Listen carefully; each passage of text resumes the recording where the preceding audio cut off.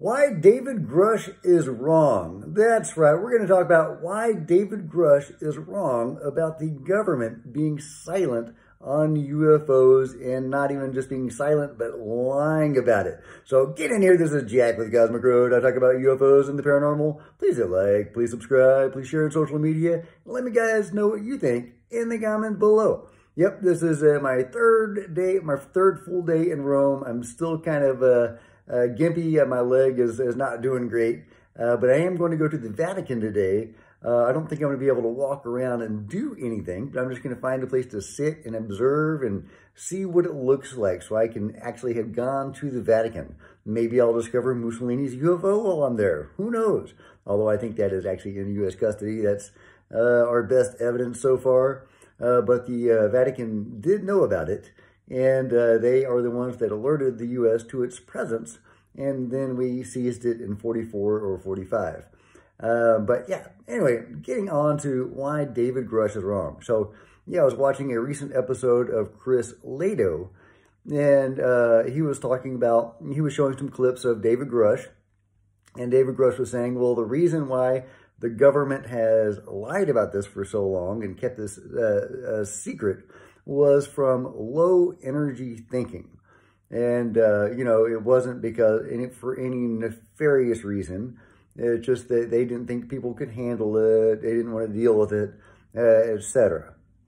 And then Chris Lehto gives his own take, uh, which is that it's actually not that, that it's actually more profit related. You know, they are, you know, probably working with the big contractors, Lockheed Martin and all that kind of stuff, which of course they are, the control group.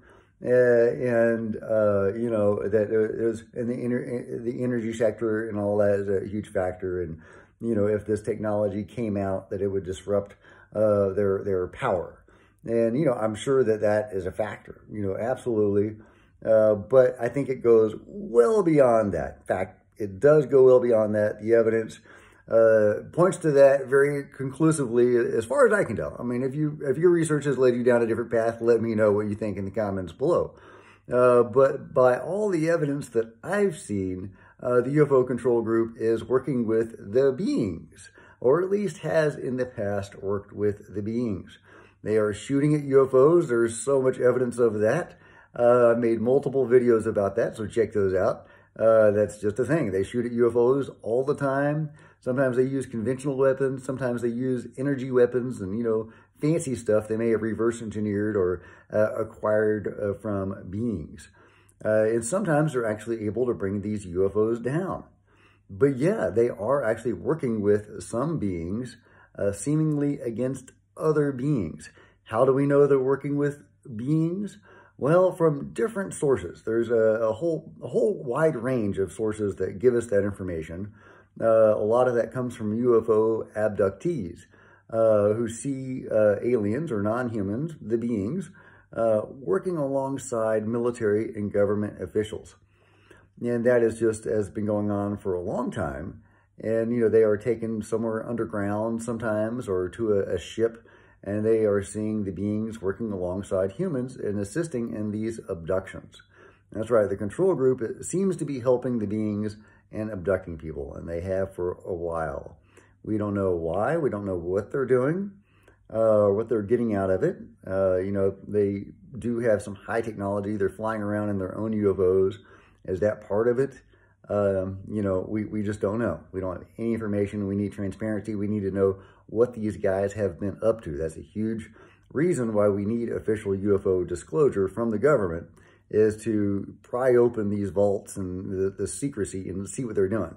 See if we agree with what they're doing or not. And, you know, we probably don't. Um, but, yeah, so the UFO abductees, there's a whole bunch of them uh, that have seen the military and government officials working alongside the beings in these abductions. Um, unfortunately, that's all too common. So other sources uh, are, you know, various whistleblowers I made a video uh, sometime back about a Lockheed Martin Skunk Works engineer um, uh, who, back in the 60s, he was working on the uh, the Blackbird, the SR-71 Blackbird. He called it his baby. And uh, he said, he, and so he was in Lockheed Martin Skunk Works. And of course, Lockheed Martin helped build Area 51 um, originally. They have been in this for a long time. Ross Coulthart name dropped them as a uh, as a company that likely had a UFO, and of course they probably have multiple.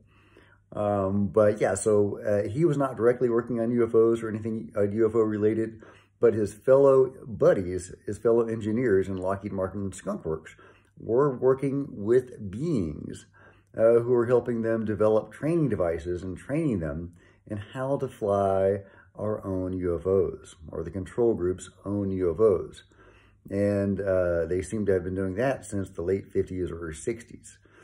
And yeah, so, uh, and there's uh, other sources uh, as well uh, corroborating that, that general idea. And uh, then there are, you know, you know, cases like, you know, Terry, Love, Terry Lovelace, veteran, a very um, credible guy, Lou Elizondo called him credible. And Terry was taken aboard a giant UFO. Um, it, uh, it, was bigger on the inside than it was on the outside, and it was giant on the outside. And uh, yeah, he saw, you know, uh, beings, he saw military uh, people serving as crew members aboard this giant UFO alongside the beings. They weren't passengers. They weren't just, you know, hitching a ride. Um, they were actually you know, pushing buttons and doing things on this ship. Uh, actually, actually, actually functioning crew members aboard a giant UFO. And I think those were Air Force people. So uh, very interesting, right? And uh, then there is, of course, the, the Haim Eshed stuff, right?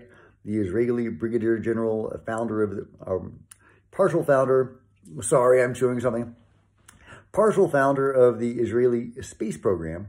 And um, uh, he says that there is a galactic federation and that various government leaders know about it and have been on some level working with the beings or, or aware of some alliance or, or, treaty with the beings. And uh, that uh, Trump wanted to come out and reveal this to the world and that he was talked out of it. Now, that's kind of hard to believe that he could be talked out of something like that, but he was talked out of releasing all of the JFK files. He, he wanted to release all that stuff, and at the last moment, he, he didn't pull the trigger and he didn't do that. Uh, I think that's because it would have been very damaging to the country, because there probably were very um, you know, the CIA. I'm not going to pull any punches.